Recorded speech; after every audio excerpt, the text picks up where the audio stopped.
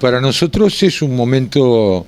de orgullo, de felicidad, es un hito en el camino, no solo para los tacuarembóenses, para todo el Uruguay y para América Latina, porque son los primeros drones que gracias a la cooperación internacional de UNICEF Internacional, de la empresa Celium, de también los fabricantes eh, de drones eh, suizos, podemos tener acá hoy esto luego de un gran proyecto que insumió mucho tiempo y que eh, tuvo el apoyo también de Dinasia y de muchas organizaciones del Uruguay. Para hace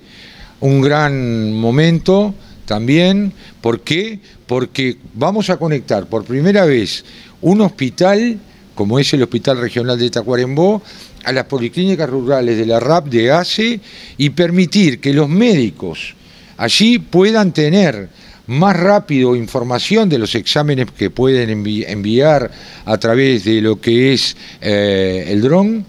que eh, se ha construido en el hospital de Tacuarembó un vertipuerto, vertipuerto, porque es de vuelo vertical,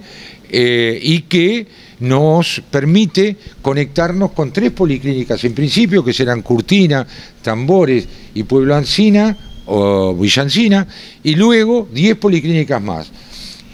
Esto a nivel de laboratorio, a nivel del banco de leche, porque vamos a transportar leche, significa menor tiempo y acercar territorio, en este caso para la salud, para lo que más nos importa. Y drones para bien, cuando en el viejo mundo transportan bombas, acá los vamos a tener no para destruir, sino para construir y salvar vidas. Así que un momento de felicidad y regocijo para el Hospital de Tacuarembó, la comunidad tacuarembóense toda y los uruguayos. Ciro, ¿es uno de los primeros en Uruguay, por supuesto, y a nivel de América Latina? Sí, efectivamente, es uno de los primeros, es el primero en, en América Latina y experiencias en Europa, algunas en el África, pero en este caso es el primero que tenemos aquí eh, en, el Uruguay y en América Latina. Doctor, ¿cuántas muestras se pueden transportar o cuántos litros de leche? Esto implica 4 o 5 kilos, no sé exactamente, pero son 4 o 5 kilos,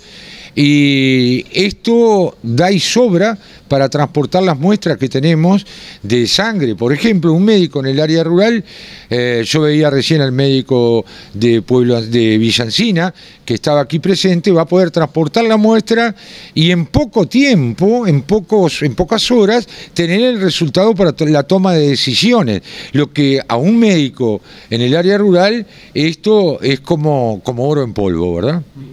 ¿Cuáles fueron las adaptaciones que tuvo que hacer el hospital para poder contar con un proyecto como esto, por ejemplo el Veripuerto?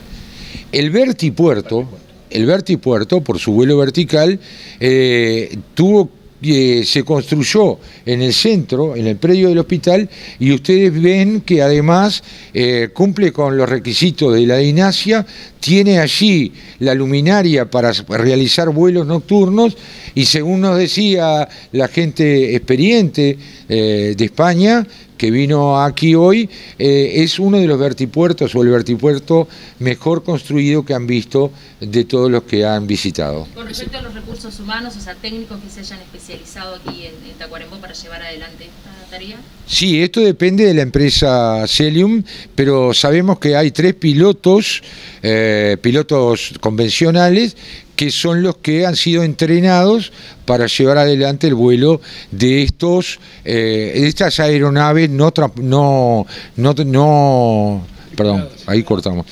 Eh, este cómo fue que me preguntaste claro que el personal técnico que va justamente a pilotear estas naves eh, técnicamente no Exactamente, son realmente pilotos convencionales que han sido entrenados para la tripulación de, los vuelos no tripulados, ¿verdad? Eh, para los que trabajan en las policlínicas, digamos, también se va a capacitar a esa gente para que pueda... Sí, exactamente, lo han capacitado y lo han dotado de tecnología. Eh, ustedes han visto que en el día de ayer, a pesar de la lluvia, estaba, estaban presentes eh, en, en Curtina, en Tambores y también en Pueblo Encina, a fin de dotar a las policlínicas del área requerida y del equipamiento necesario tecnológico para poder realizar los vuelos.